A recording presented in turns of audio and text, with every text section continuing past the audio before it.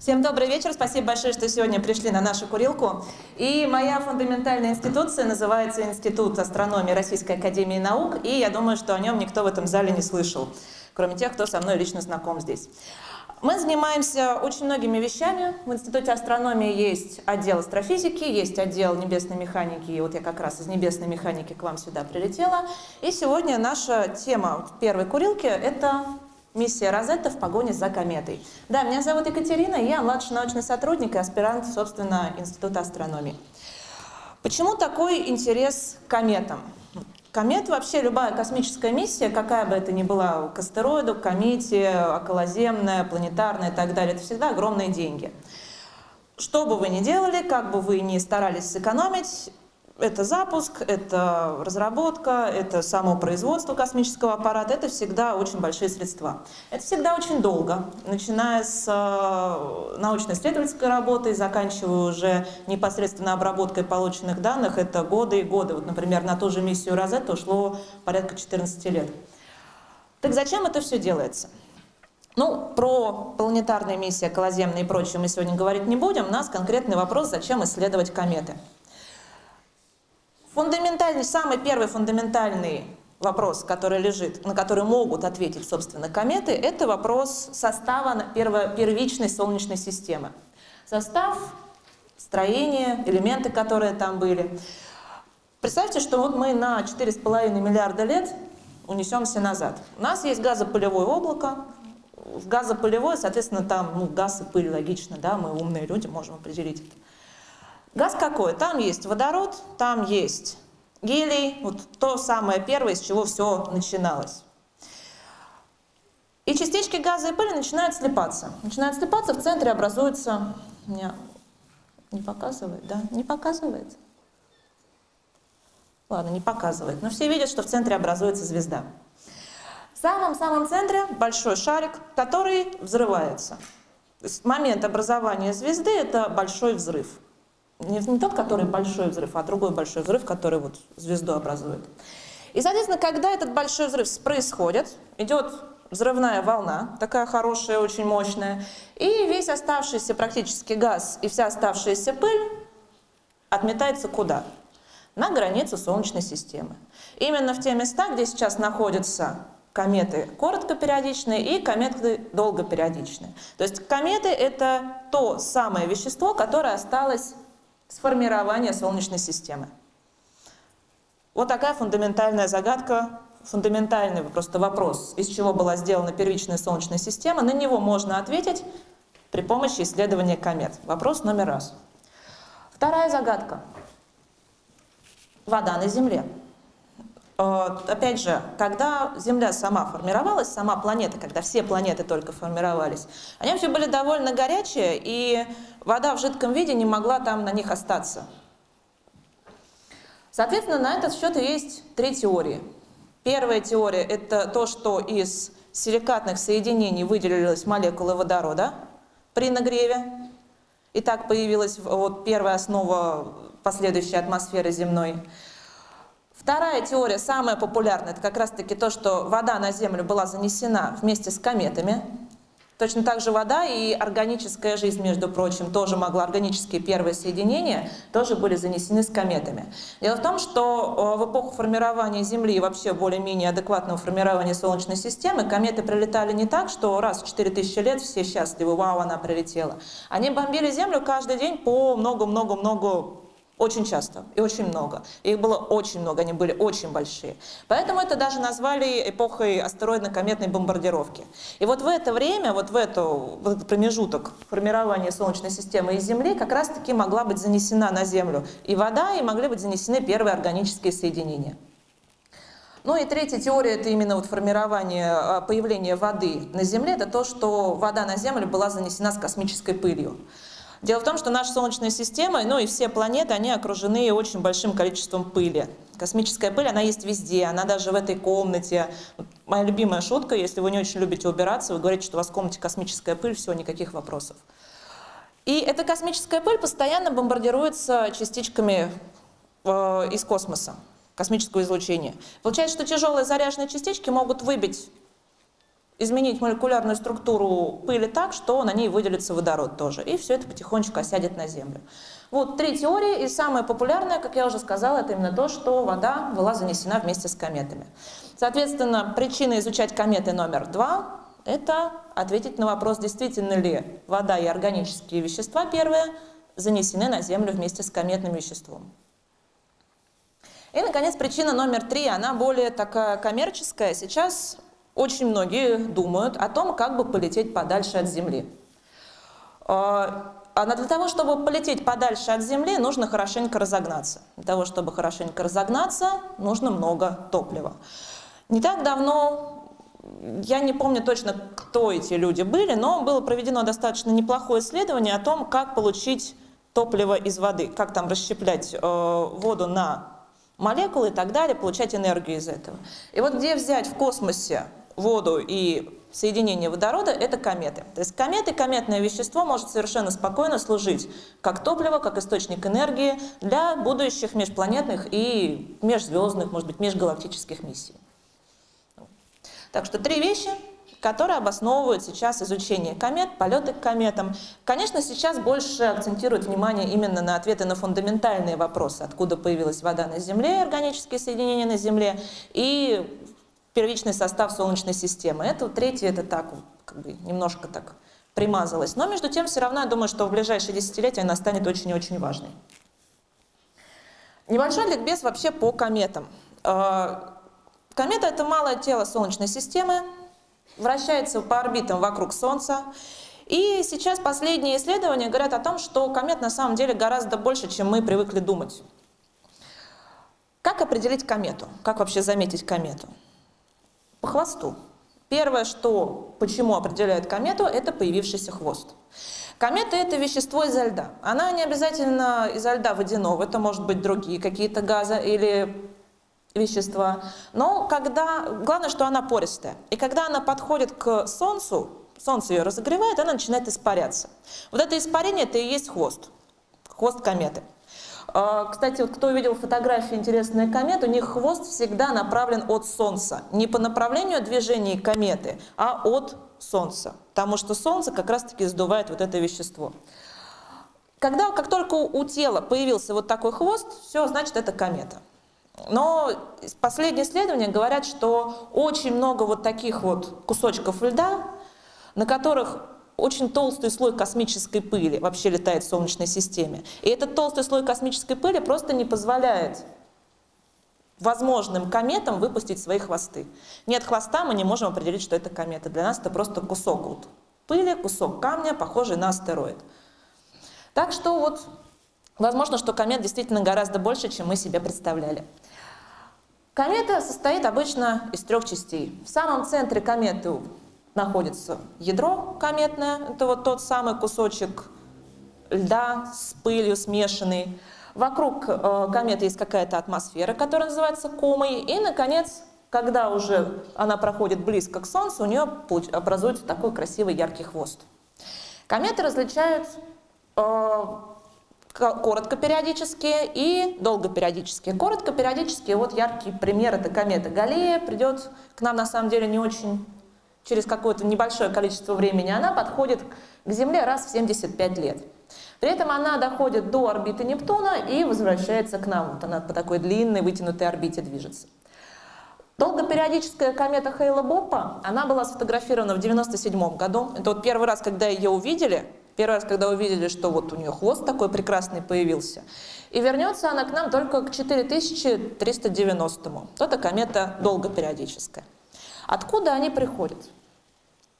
Кометы коротко периодически приходят к нам из пояса Койпера. Пояс Койпера он находится за границей Нептуна. Это примерно 30 астрономических единиц за границей орбиты Нептуна. И там как раз находятся и Плутон, и его друзья Маки-Маки и прочие планеты-карлики, и огромное количество вот таких вот кометных тел. Помним, да, вот эту теорию, то, что в центре была звезда, звезда сдувала все легкие элементы на границу, на окраины Солнечной системы. И вот пояс Койпера и дальше облако Орта. Облако Орта – это гипотетическое облако из кометных тел, из кометных вот таких вот кусочков льда, которое находится уже реально на границе Солнечной системы. Такое маленькое отступление. Граница Солнечной системы — это не Плутон и не пояс Койпера. Граница Солнечной системы — это место, где заканчивается гравитационное влияние Солнца. То есть это где-то 50 тысяч-100 тысяч астрономических единиц. Если пояс Койпера это 50 астрономических единиц, то облако Орта это 50 тысяч астрономических единиц. Вот оттуда тоже могут по теории приходить кометы. И вот как раз-таки оттуда по гипотезам приходят долгопериодические кометы. Кстати, есть одна интересная теория существования у, зв... у нашего Солнца, например, парной звезды или чего-то там, которое на границе Солнечной системы летает. Якобы что-то должно возмущать вот это облако Орта, вот эти кометы, вот эти ядра, которые там находятся, чтобы они оттуда вылетели. Ну вот как бы очередное такое косвенное доказательство того, что действительно там что-то есть. Из облака Орта как раз прилетают долгопериодические кометы, это занимает вот тысячи лет. Вот, например, примерная орбита кометы, вот красным, если видно, вот как-то так они летают. И если вернуться с самых-самых-самых дальних границ Солнечной системы прямо к центру, есть еще семейство околосолнечных орбит, э, комет. Это кометы, которые, у которых э, перигеи орбиты, перед центром, это вот самая близкая точка орбиты к Солнцу, она достиг, расположена на расстоянии ну, там, сотни километров, то есть очень мало по космическим масштабам. Это фотографии космического аппарата Сохо. Он летает уже больше 20 лет, смотрит на Солнце. Вот в серединке то, что закрыто красным диском, это Солнце. У него специально так сделан телескоп, что Солнце закрывается, он исследует солнечную корону и окрестности Солнца, что там летает. У него очень большой архив фотографий, и они на самом деле ищут добровольцев, чтобы искать кометы на этих фотографиях, чтобы искать, исследовать и посылать там Центр малых планет и так далее, чтобы их фиксировали как-то. А околосолнечные кометы, вот здесь эти вот маленькие вспышечки, это они. На синей фотографии это фотография последних моментов жизни кометы Айзон, которая подошла к Солнцу, и солнечная гравитация ее разорвала на вот такой вот массив отдельных кусочков льда, которые потом поочередно все сгорели. Вот так происходит смерть кометы. Немножко грустненько. И помимо всего этого, помимо пояса Койпера, помимо облака Орта, помимо околосолнечных орбит, есть еще э, кометы, которые летают достаточно близко к определенным планетам. Такие у них траектории. И вот, например, комета Чурюмова-Герасименко, та самая, о которой сегодня в дальнейшем пойдет речь, это комета вообще из семейства комет Юпитера, около юпитерианских. Юпитер — это самая большая планета Солнечной системы, и у него есть достаточно большое количество и астероидов, и комет, которые постоянно следуют за ним по орбите. Вот комета Черемова-Герасименко, а, она короткопериодическая, у нее период обращения 6 лет 7 месяцев и масса где-то 10 миллиардов тонн вот по последним оценкам. Это первая комета, которую удалось вот так сфотографировать. Как это получилось, я думаю, кто-то уже знает эту историю, если кто-то не знает, то все очень круто, потому что сейчас я буду ее рассказывать. Вот так началась история кометы Черемова-Герасименко. Это фотопластинки, причем фотопластинки 1969 года, полученные на обсерватории в Алмате Климом Черемовым и Светланой Герасименко, 900, 1969 э, год. Открою секрет, вот такие фотопластинки, они лежат в архивах обсерваторий и институтов там с 19 века. Э, в чем прикол. Вот, например, комета Черемова-Герасименко, ее не искали на этих фотопластинках, она была обнаружена случайно. Это фотопластинки наблюдения совершенно другого тела. Даже сейчас на старых фотопластинках, на старых фотографиях, на старых материалах, когда их э, оцифровывают, пересматривают, иногда периодически находят что-то, что не заметили тогда. И получается, что вот смотрели на одно тело, а потом через несколько лет нашли совершенно другое, совершенно случайно новый объект, посмотрели, да, действительно что-то новое. То же самое получилось с кометой Черемова-Герасименко. Ее не искали, точнее специализированно, но ее благодаря вот таким вот архивным съемкам ее нашли. Вот так она выглядела в 69 году, это вот точечка, которую стрелки показывают. Это вот Клим Чурюмов и Светлана Герасименко работают на фотопластинках, подписывают вот на обсерватории, что они увидели. Это Клим Чурюмов уже в современности, в 2016 году. Он, к сожалению, практически сразу по окончании миссии Розетта он умер, он дождался вот окончания этой грандиозной миссии. Я думаю, что это было величайшее счастье для него, и, к сожалению, уже до наших дней он не дожил. И Светлана Герасименко, вот, собственно, с моделью Розетта, так они выглядят сейчас. Да, Светлане сейчас 73 года, она здравствует, у нее все замечательно. Почему выбрали название Розетта? Вообще Розетта Стоун или Розетский камень – это камень, который в 17 веке нашли, я не помню где, но идея у него, э, интересный момент в том, что на нем на трех сторонах было написано достаточно много всего иероглифами. Один, три текста. Один на древнеегипетском языке, один э, дематическим письмом и на древнегреческом. И благодаря вот этому камню Жану Франсуа э, Шампальону. Э, удалось расшифровать древнеегипетские иероглифы. То есть камень, который позволил разгадать загадку древнеегипетских иероглифов. На этой же, основываясь на этой идее, назвали миссию Розетта. Якобы миссия Розетта сможет, отправившись к комете, открыть какие-то тайны Солнечной системы. Поэтому такое название выбрали, поэтому она Розетта.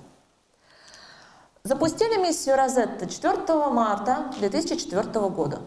Это Европейское космическое агентство, ракета «Атлас-5» стартовала. И вот здесь начинается интересный момент. Как догнать комету?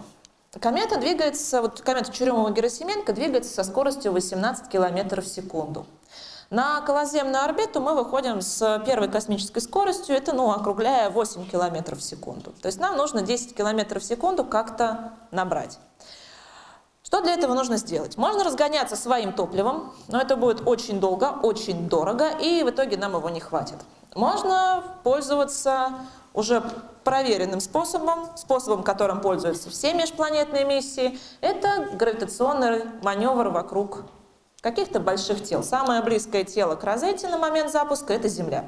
Все практически межпланетные миссии к астероидам и так далее, они все начинаются с того, что аппарат летит вокруг Земли, облетает ее и за счет этого набирает какую-то скорость. Называется гравитационным маневром. Это первый этап миссии Розетта.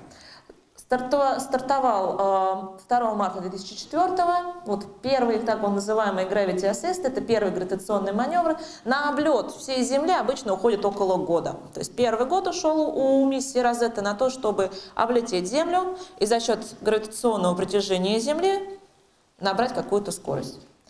Сама траектория выглядела вот так. То есть это все 10 лет перелета от Земли к комете. Зачем столько витков? Все то же самое, чтобы набрать вот, эти вот, вот эту разницу, покрыть в 10 км в секунду. Розетта совершала э, гравитационный маневр у Земли, у Марса, еще раз у Земли, еще раз у Земли, и за счет этого уже смогла набрать свои 18 км в секунду. После первого гравитационного маневра стало ясно, что ну, поддерживать аппарат постоянно вот в этом состоянии полной боевой готовности не имеет смысла. И Розетта ушла на 10 лет в режим гибернации, в режим сна. По истечении этих 10 лет, на самом деле, ученые, сама вот, э, сами исследователи, они уже не очень верили, что у них получится ее запустить. И когда Розетта не дала, не подала сигнала в жизни, то есть они послали сигнал включения, она не подала первые там, несколько минут. Они очень думали, блин, ну ладно, окей, все, не получилось. А потом она ответила. И вот это, это лица людей, которые принимают сигнал с розетты первый раз через 10 лет с момента запуска миссии. Ну, да, они были рады. Вот, кстати, первый верхний слайд – это кадр из мультфильма «Розетта», Можете его погуглить, он очень-очень милый. Очень красивый мультик, посмотрите, прям замечательный. И вот спустя 10 лет Розетта догоняет свой камень. Как э, происходит вообще навигация этого дела? Когда вы летите по орбите, когда еще вот здесь вот, вы контролируете аппарат с Земли. То есть вы знаете, где аппарат, его можно даже в телескопы найти как-то. То есть если знать, куда смотреть, и у вас хороший инструмент – но когда вы уже приближаетесь к камню, здесь включаются исключительно навигационные способности самого космического аппарата. То есть навигация околокометная, она осуществляется собственными средствами аппарата. Потому что вы просто вы такую точность не покроете средствами с Земли. Во-первых, у вас очень большая задержка во времени, когда, пока сигнал дойдет до кометы и пока он дойдет обратно. Во-вторых, у вас ну, нет такой точности. И вот это первые фотографии как раз-таки кометы Чурюмова-Герасименко. Это комета, которую лучше всего на данный момент удалось сфотографировать. Кто-то говорит, что она напоминает гантель, кто-то говорит, что она напоминает резиновую уточку. Но если смотреть сверху, на самом деле на других фотографиях там реально уточка. Кто-то говорит, что она там еще что-то ему напоминает, и здесь можно включить фантазию, посмотреть с разных сторон и действительно разное что-то увидеть. И на самом деле это предмет спора достаточно большого количества ученых, что же, почему она вот такой формы. Она слиплась из двух частей, или она за счет своего движения потихонечку вот из центра все это вытерлось какими-то силами. До сих пор не могут на этот вопрос дойти, точно ответить. Скорее всего, это именно два тела, которые в процессе эволюции, в процессе движения кометы по космическому пространству просто вот так вот вместе слиплись. Космический аппарат Розетта вышел на орбиту около 100 километров над поверхностью Розетты, и это снимки, которые были получены. Большое количество пыли, большое количество, очень неровная поверхность, большое количество разных маленьких камней, включений и так далее. Ну, вот это вот чуть поближе. И вот куда-то сюда, вот на такую поверхность предстояло посадить спускаемый модуль.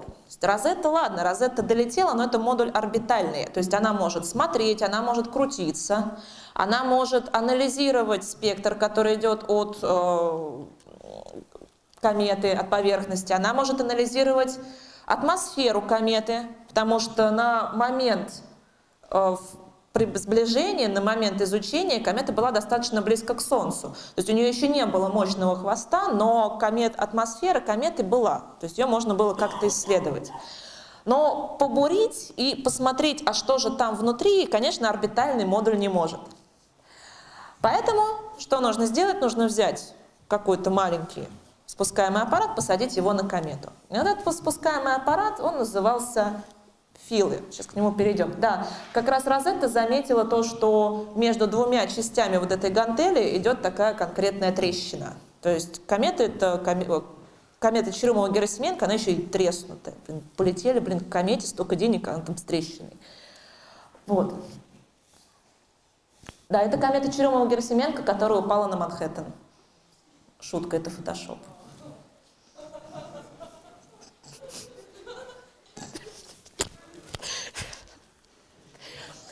Вот он самый маленький модуль филы. Тот самый. Это небольшая коробочка, в которую были вложены гигантские средства. У нее было все. У нее был и интерферометр, и спектрометр, и она смотрела и еще что-то там, мометр и так далее. В общем, она мерила все, что только можно. И посадка на самом деле была очень драматичной.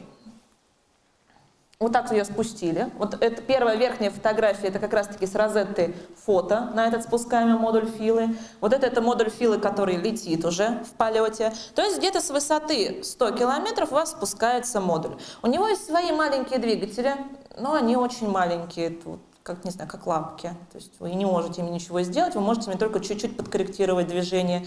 И у вас есть гарпунчики. То есть сверху у вас э, двигатель, который, собственно, двигает этот аппарат, прижимает его к поверхности кометы, потому что у кометы есть гравитация, но она очень маленькая, очень низкая. То есть вам нужно аппарат туда прижать немножко. У вас есть гарпунчики три, которыми планировалось зацепиться за поверхность кометы, и, в общем, не получилось у них с первого раза.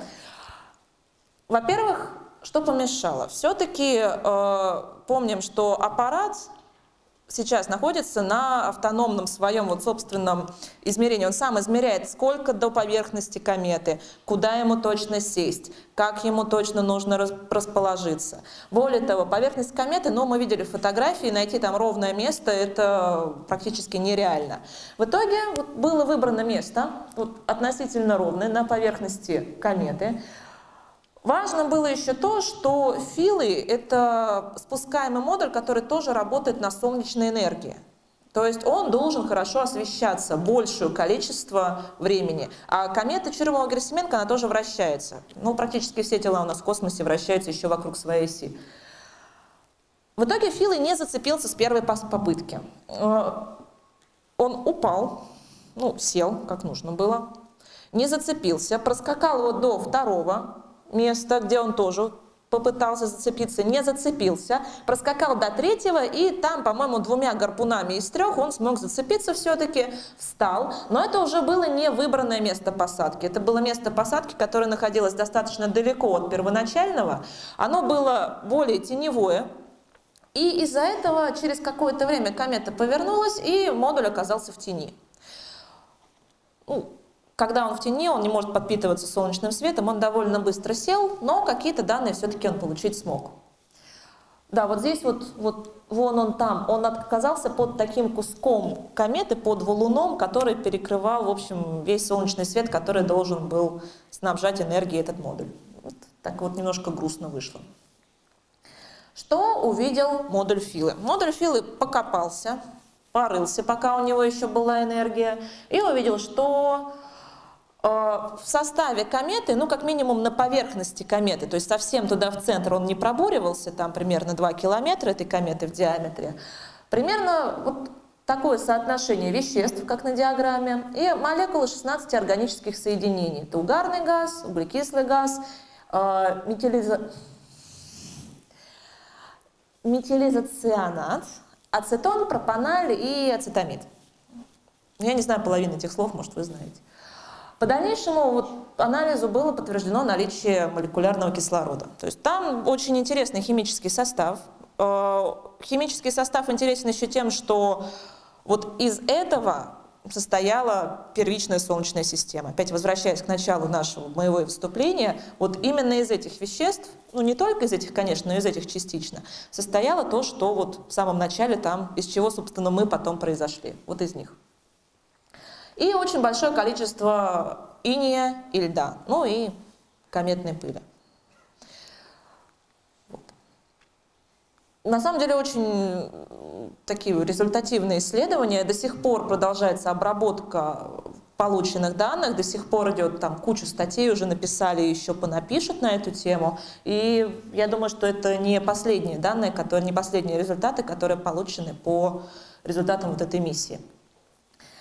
И в 2016 году стало ясно, что комета, собственно, начинает уходить от Солнца, начинает потихоньку удаляться.